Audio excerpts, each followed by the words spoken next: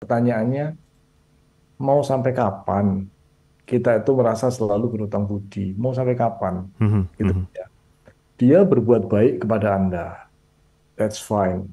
Itu mhm. adalah urusannya dia gitu sebenarnya. Ya kan ya? Itu adalah haknya dia gitu kan.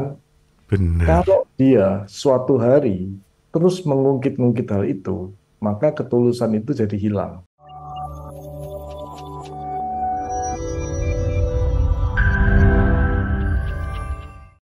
Saya merasa punya utang budi dengan seseorang, Mas Haris. Berkat info dari orang ini, saya mendapatkan pekerjaan saat ini. Situasinya, orang ini menurut saya toxic, micromanaging. Ya, saya kepengennya cuek dan tidak peduli. Tapi nggak enak karena dianggap nggak tahu balas budi.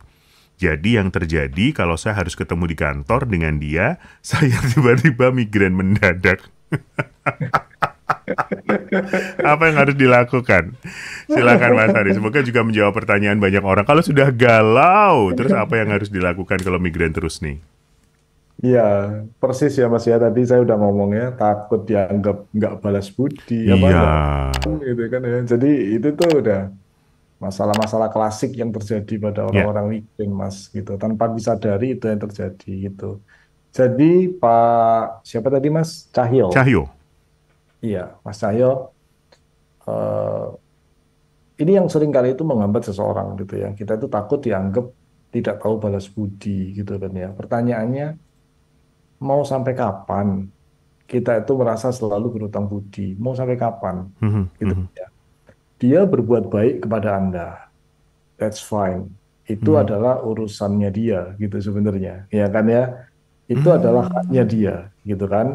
Benar. Kalau dia suatu hari terus mengungkit-ungkit hal itu, maka ketulusan itu jadi hilang. Kan gitu ya. Hmm, Oke. Nah, sekarang kita bicara di pihaknya Mas Cahyo sendiri nih, gitu ya. Ketika Anda sudah mengatakan terima kasih kepada dia, kemudian Anda juga sudah melakukan sebuah perbuatan baik pada dia, that's all. Selesai.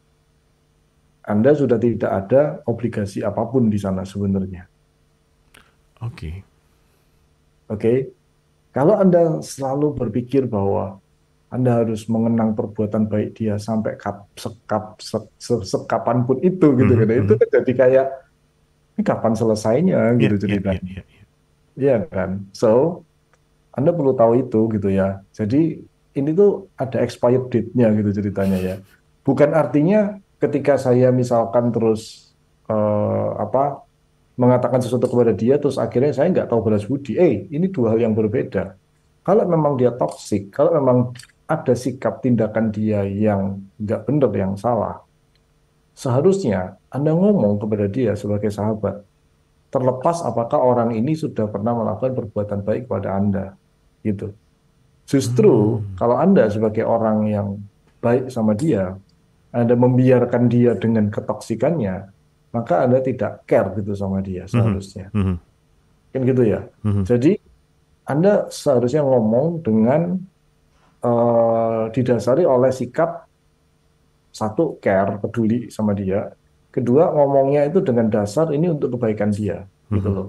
mhm. Jadi saya nggak tahu ini yang diceritakan ini Pak atau Bu gitu Ya, kan ya, ya, tapi ya, ya. ngomong saya ini Pak gitu kan ya. Eh, Pak, gue mau ngomong nih sebagai orang yang care sama lu, lu pun juga udah pernah bantu aku masuk ke sini gitu kan ya. Eh, apa yang lu lakukan, apa yang lu katakan itu bisa merugikan diri lu loh. Mhm. Karena orang bisa menilai lu begini, begini, begini, begini, gitu. Oke, Ya. sorry, saya harus ngomong hal ini kepadamu, gitu kan ya. Tapi kalau saya care, maka saya akan ngomong. Kalau saya nggak care, saya nggak akan ngomong sama kamu. Mhm. Nah, itu yang harusnya dilakukan, gitu. Ya, loh, nanti kalau orangnya sakit hati gimana? Ya sudah, kalau orangnya sakit hati, itu membuktikan level dia ada di mana. Ya sudah, terimalah perbuatan baik dia, that's it, selesai. Gitu kan ya.